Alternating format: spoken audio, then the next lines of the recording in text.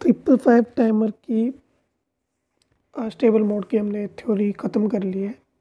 अभी, अब हम इसका प्रैक्टिकल करने वाले हैं। ये आपको दिख रहा होगा इसका सर्किट डायग्राम हमें जो है स्टेबल मोड बनाना है तो उसके लिए मेरे पास जो है कंपोनेंट दिख रहे हैं सभी है।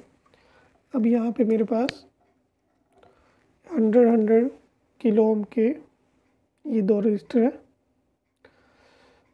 दो रजिस्टर हमको हंड्रेड हंड्रेड किलो ओम के चाहिए। इसके बाद एक टेन माइक्रोफेरेट का कैपेसिटर।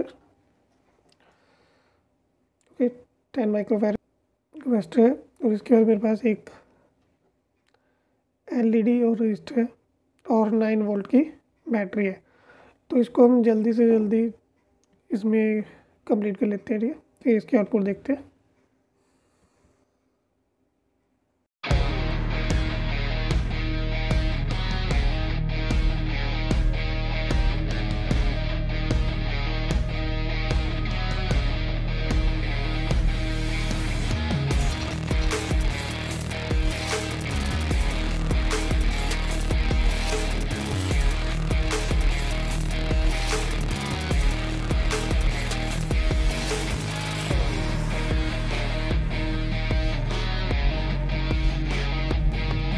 कंप्लीट हो चुका है।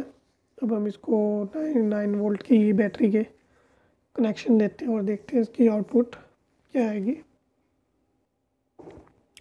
तो फाइनली आप देख सकते हैं कि जो हमारी एलईडी है वो ऑन और ऑफ़ हो रही है और ये सर्किट हमारा वर्क कर रहा है ओके तो कैलकुलेशन मैंने आपको बता दी थी, रजिस्टर कैपेसिटर की फार्मूला मैंने बता दिया था टी ऑन और टी ऑफ़ का। तो इस तरह से आप सर्किट बनाइए। और ट्रिपल फाइव के बारे में कोई डाउट रह गया हो तो हमें कमेंट में बताएँ।